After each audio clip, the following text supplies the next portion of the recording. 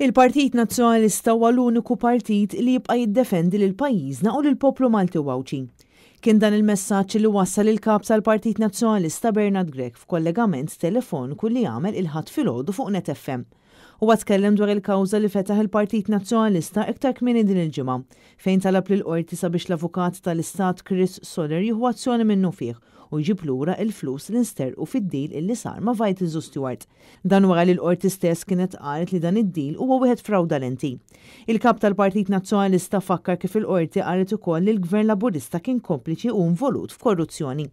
Quddiem dan kollu, flimkien mad-Deputat Adrian Delia, l-Kap tal-Partit Nazzjonalista fetaħ kawża sabiex l-400 miljun jintraddu lura lill-poplu Malti u Għawdxi.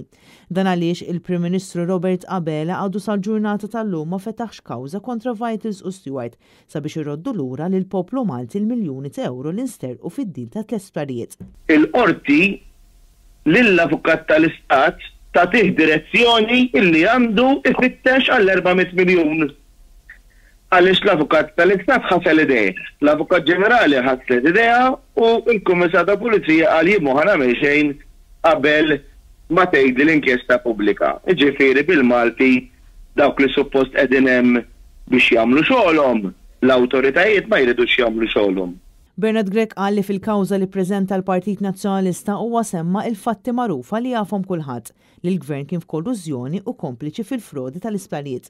Quddiem dan kollu l-Partit Nazzjonalista huwa kommess li jibqa' jiddefendi lill-pajjiż u mhu se jħalli lil ħadd jintimidah. Jekk Robert Abela għalaq l-istituzzjonijiet Jekk Robert Abela jibqa' taħt jieħu kontroll ta' kollox biex ma jittieħdux passi, aħna m'aħniex se nkunu kompliċi u m'aħniex se nħallu, jien l-ewwel wieħed, mhux se nħalli lil Robert Abela jagħlaqli ħalqi.